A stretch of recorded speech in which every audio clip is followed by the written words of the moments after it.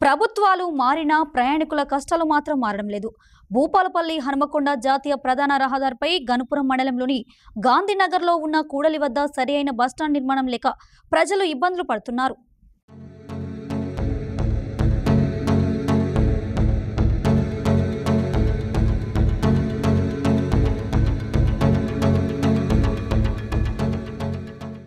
గాంధీనగర్లోని ప్రధాన కూడలిలో బస్టాండ్ లేక ప్రజలు ఇబ్బందులు పడుతున్నారు. అదేవిధంగా మరుగుదొడ్లు లేకపోవడంతో మహిళా ప్రయాణికులు అనేక ఇబ్బందులు ఎదుర్కొంటున్నారు. ప్రతినిత్యం వేలాది మంది ప్రజలు పరకాల హనుమకొండ హైదరాబాద్కు ఈ ప్రాంతం ద్వారా ప్రయాణిస్తారు. కానీ ఈ ప్రాంతంలో ఇప్పటికీ ప్రయాణికులకు సరైన మౌలిక సదుపాయాలు కరువయ్యాయి.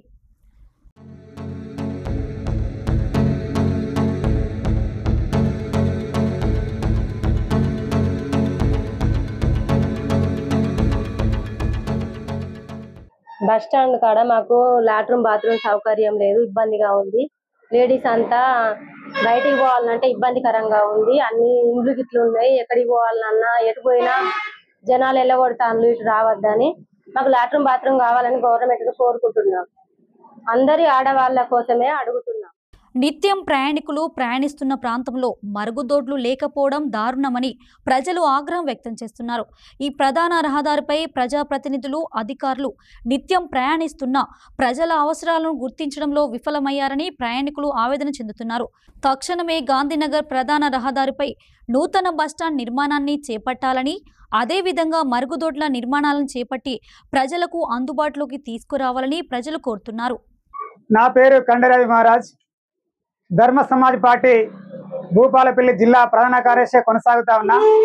ప్రస్తుతం నేను ఒక అంశాన్ని చెప్పదలుచుకున్న ఈ ప్రభుత్వానికి నేను భూపాలపల్లి జిల్లా గణపురం మండల కేంద్రంలోని గాంధీనగర్ గ్రామంలో ప్రజెంట్ నేనున్నా. గాంధీనగర్ గ్రామంలో బస్ స్టాండ్ నిర్మాణం సరిగా లేదు. ఇక్కడి నుంచి భూపాలపల్లి కావచ్చు హన్మకొండ కావచ్చు ములుగు కావచ్చు రకరకాల ప్రాంతాలకు వెళ్ళేటువంటి ప్రజలు ఎవరైతే ఉన్నారో వాళ్ళు మహిళలు కావచ్చు పురుషులు కావచ్చు ఎవరైనా కనీసం ఇక్కడ యూరిన్ మూత్రం పోదామంటే పోసే గతి లేదు స్థితి లేదు. గత ప్రభుత్వాన్ని కూడా మేము రమణారెడ్డి గారు చెప్పినాం. ఎమ్మెల్యే గారు వారు ఉన్నప్పుడు వాళ్ళు కూడా ఈ విషయాన్ని పట్టించుకోలేదు.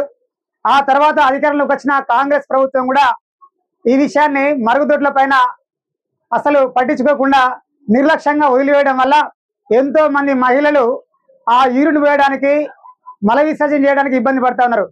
అంటే పక్కన ఒక పక్క పంటి ఎక్కడ పోయి వాళ్ళు మూర మూత్రం పోయాలని చెప్పి బాధపడుతూ అసలు ఎవరు చెప్పుకోవాలో తెలియక చాలా ఇబ్బందికి గురవుతున్న సమస్య ఇది ఒకటి ఉన్నది. వందల వేల లక్షల కోట్ల రూపాయలన్నీ రోడ్ల మీద పెట్టి ఖర్చు చేసిండు కానీ కనీసం ఇక్కడ ఒక మూత్రశాల కట్టేయాలనేటువంటి చిత్తశుద్ధి ప్రభుత్వానికి లేదని చెప్పి చెప్తా ఉన్నాం. ఎవరిని వదిలేది లేదు.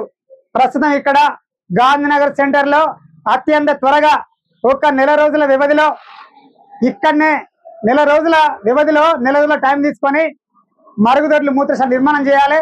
నిరంతరంగా వాటి మీద పర్యవేక్ష పర్యవేక్షణ ఉండాలి.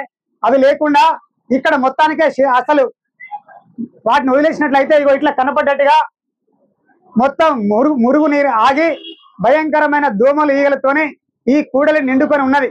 ఇది ఇదా ప్రభుత్వం అంటే ప్రజాపాలన అంటే ప్రజలు మూత్రం పోసేటువంటి గతి ప్రభుత్వం. ఇది ప్రజాపాలన ఎట్లయితుందని మేము ప్రశ్నిస్తా ఉన్నాం. వాడు ఒక దొంగ చెప్పిపోయిండు కేసీఆర్. వాడు ఏమన్నాడు వాడు ఒక మాట చెప్పేది ఇది బంగారు తెలంగాణగా మారుతా అని బతుకు లేకుండా చేసిపోయిండు. మీరు వచ్చి ప్రజాపాలన చెప్తున్నారు. ప్రజలు మూత్రం పోసేటువంటి స్థితి లేకుండా ఈ ప్రభుత్వం ఉన్నది. ఇదా ప్రభుత్వం అంటే ప్రభుత్వం అంటే ఇది కాదండి. ప్రజల మౌలిక అవసరాల కోసం మౌలికమైనటువంటి ఆ స్థితిగతిని ఆలోచించి ముఖ్యంగా వాటి కేటాయించి మిగతా అమౌంట్ మిగతా వాటి పెట్టండి. మేము వద్ద ఉంటున్నామా మేము కాదట్లే అభివృద్ధిని అడ్డుకునే స్థితిలో మేము లేం. అభివృద్ధిని మేము అడ్డుకోం. అభివృద్ధి చేయమంటున్నాం. కానీ అభివృద్ధిలో భాగంగానే మరుగుదొడ్లు తక్షణంగానే ఇక్కడ నిర్మాణం చేయాలని చెప్పి కోరుకుంటా ఉన్నాం. కలెక్టర్ గారి విషయాన్ని గమనించాలి. ఎంఆర్ఓ గారి దృష్టి పెట్టాలి. మేము అధికారులందరినీ కోరుకుంటా ఉన్నాం. ప్రభుత్వాన్ని కోరుకుంటా ఉన్నాం.